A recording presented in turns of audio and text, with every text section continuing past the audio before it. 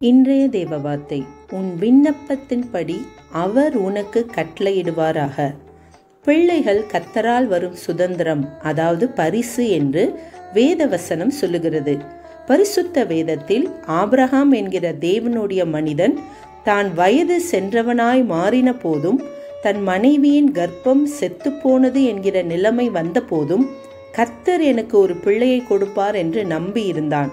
அவனுடைய நம்பிக்கையை ஆண்டவர் வெட்கப்படுத்தாமல் அவன் முதிர் வயதிலும் ஒரு பிள்ளையை கொடுத்தார்.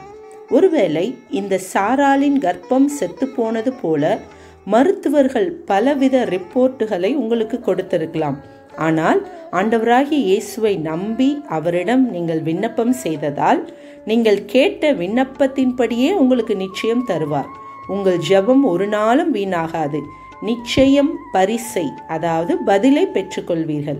தேவனாலே எல்லாம் கூடும்.